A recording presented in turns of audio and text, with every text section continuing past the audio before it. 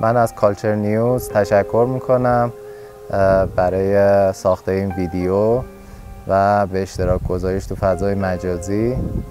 و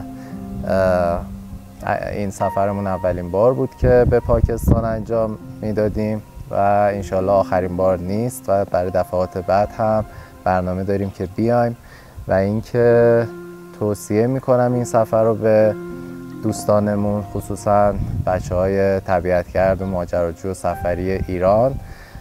به خصوص به خصوص شمال پاکستان رو که بیان و بازدید داشته باشن فوق العاده زیباست. فوق العاده یعنی تمام لحظاتمون که توی این بخش بودیم تو بخش شمالی پاکستان بودیم مخصوصا شهر چیترال و گیلگیت و اسکاردو.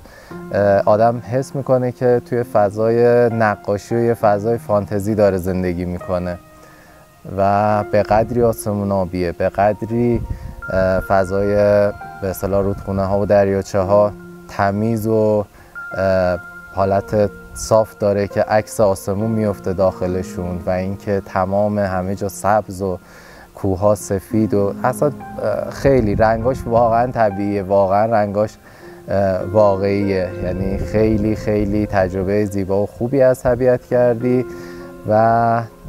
حالا بچه های کوهنوردی و بچه های ورزشکار هم می‌تونن بیان اینجا از کوهاش استفاده بکنن و سودای خیلی خوبی رو داشته باشن. برای همه سلیقه ها هم کوه داره. اونایی که فنی می‌خوان صعود کنن اونایی که 6000 7000 و حتی 8000 متری می‌خوان صعود بکنن.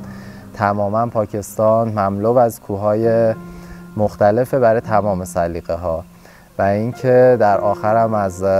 دوستانمون تو تمام پاکستان تشکر می‌کنم که خیلی کمکمون کردن که اگه کمک و محبت این دوستامون عزیزان نبود واقعا ما به راحتی نمی‌تونستیم سفر کنیم و بسیار مهمون نواز و مهربون هستند عموم مردم پاکستان و این یکی از مهمترین فرهنگیه که ما توی پاکستان دیدیم و البته فرهنگ مشترک بین ما و پاکستان هست.